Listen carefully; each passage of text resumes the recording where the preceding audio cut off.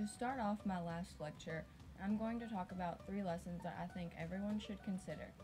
I believe that by following these three ideas, you could be a happier person and start living your life the way you want to. Nobody knows when your life could be over, and I want to live my life being the happiest I could possibly be. The first lesson I have would be to stick to your beliefs and ideas. It doesn't matter what other people say or do. Do what's good for you and what you believe in. If someone tells you what you're doing is wrong, ask them how they know what is right. It's my life and I don't want to, someone to tell me how to live. What's the point of living if you're going to do it by someone else's rules? It's a waste of time if you're not doing what you want.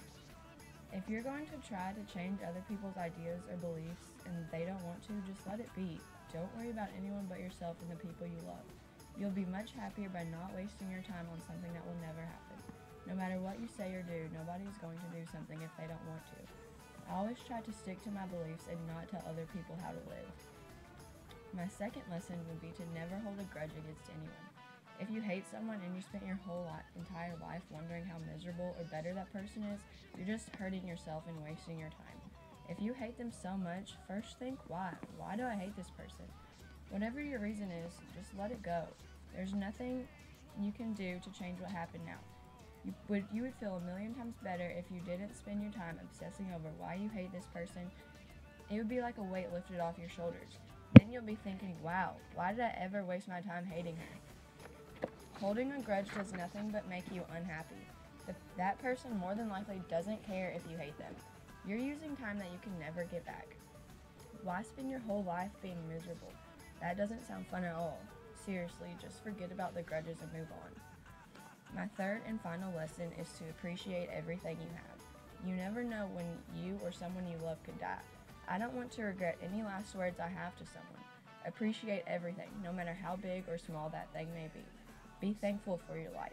There are a lot of people out there who have it way worse. I've heard that cancer kids are some of the most cheerful and happy people out there. I like to believe that's because they don't know if they're going to live or die, so they can appreciate waking up each day.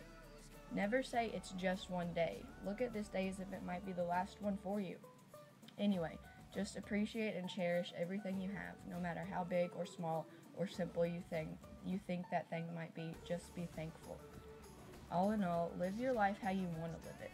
Don't let anyone dictate your life. It doesn't matter if you disagree or agree with anyone. They may not like it, but as long as you do, that's all that matters. People are really arrogant and judgmental, and if you let those kinds of people run your life, you should reevaluate. These three lessons are important to me, and I believe that people could be way happier by sticking to your beliefs and not changing them for anyone, not holding grudges against anyone because honestly they don't care, and finally being thankful for every little thing that you have.